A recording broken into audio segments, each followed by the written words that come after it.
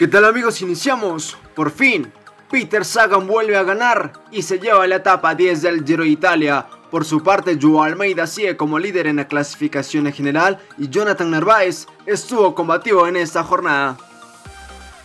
Peter Sagan del Bora ganó la etapa 10 del Giro de Italia tras una jornada llena de repechos y movimientos. La maglia rosa sigue en posición del portugués Joao Almeida del de Dos equipos, Jumbo Visma y Milton Scott, abandonaron el Giro antes del inicio de la etapa por los casos positivos al COVID en sus grupos. La fracción se corrió entre el anciano y Torteto Lido con 179 kilómetros de trayectoria.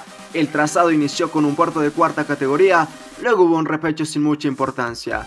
El recorrido se volvió plano hasta el segundo puerto de cuarta categoría.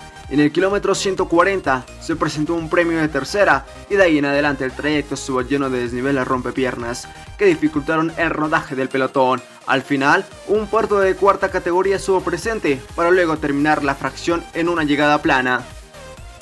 En contexto, Jonathan Narváez en esta jornada vuelve a estar combativo entre los favoritos a la clasificación en general, llegando a 20 segundos de Joao Almeida y a 50 del ganador de la etapa. En lo personal, miro que Jonathan va teniendo más ritmo conforme avanza la competencia. Esperemos verlo triunfar en alguna de las jornadas teniendo en cuenta ya lo mencionado. Así el tricolor es el mejor de los ecuatorianos en la clasificación en general, a más de 42 minutos en la casilla número 43.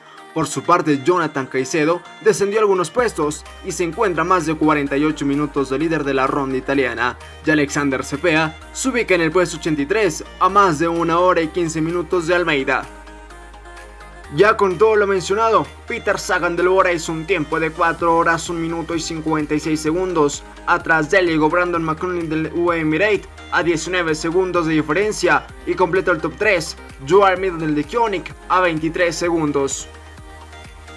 Mientras que en la clasificación general sigue comandada por Joe Almeida del de que ya hace un tiempo de más de 39 horas. Seguido de él a Wilco Kenderman del Team Sunweb a 34 segundos de diferencia y completa el podium. Pello Bilbao del Bahrain McLaren a 43 segundos, mientras que en los latinoamericanos el mejor ubicado es Jonathan Narváez.